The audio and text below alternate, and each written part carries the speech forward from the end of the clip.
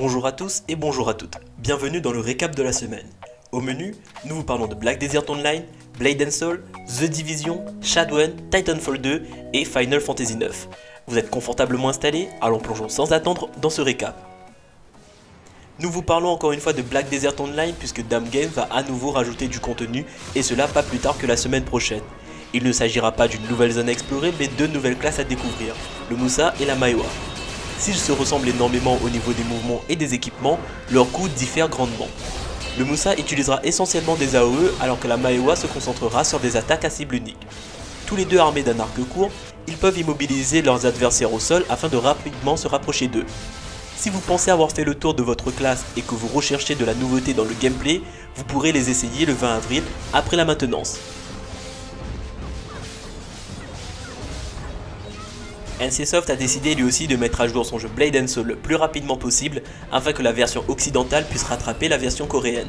C'est donc sans surprise qu'on voit un patch intitulé L'Empire dévasté pointer le bout de son nez.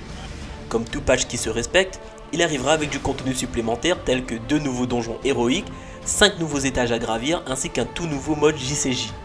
La mise à jour L'Empire dévasté sortira le 27 avril.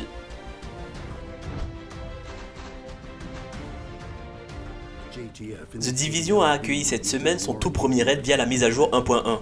La majorité des joueurs doivent être ravis par ce vent frais qui rajoute un peu de nouveauté dans le jeu, mais certains comme les joueurs Xbox One ne doivent pas avoir ce patch du même oeil puisque leurs personnages ainsi que leurs équipements ont tout simplement disparu.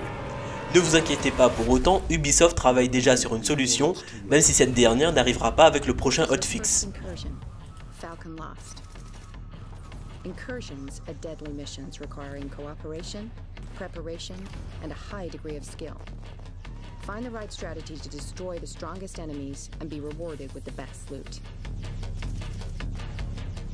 Shadwen, voilà le nom du prochain jeu de Frozen Bad Games, les développeurs de Trine. Dans ce jeu d'infiltration, on incarnera Shadwen, un assassin qui a pour cible le roi.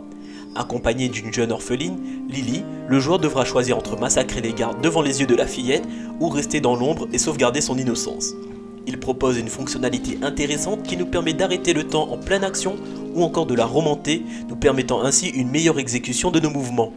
Shadwen sera disponible au mois de mai sur PC et PlayStation 4.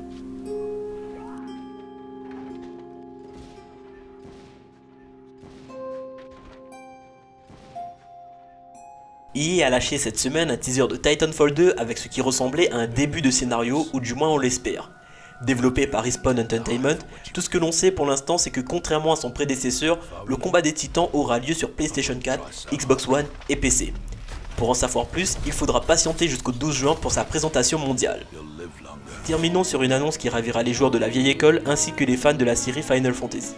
Le neuvième volet, j'ai nommé Final Fantasy IX, est enfin disponible sur Steam pour la somme de 19,99€.